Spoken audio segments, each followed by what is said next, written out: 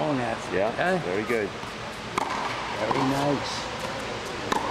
Good. Do a little bit more recovery on, on, on that backhand. Good athlete. Yeah. Moves well. Where's she from, Julio? I don't know. He's a good player.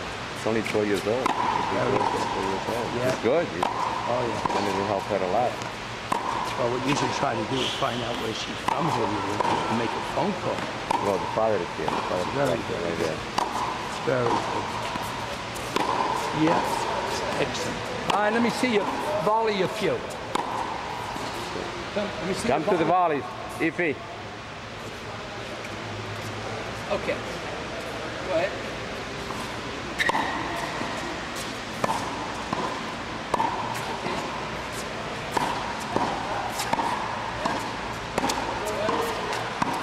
Okay, where's it at? Right here. Dad, come over here. Dad.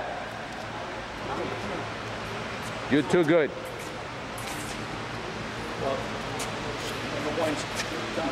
Yeah. Excellent athlete. Fundamentals on the forehand, backhand, he's worked with us, done a good job. Great hands up here. This is the type of girl that if she's in an environment, she's a good player, she knows the techniques and progression to development she can do. How old are you? You're from, from London. She's, uh, this is the type of people that the Lawn Tennis Association should be looking for. But that's a long story, Yeah. you know.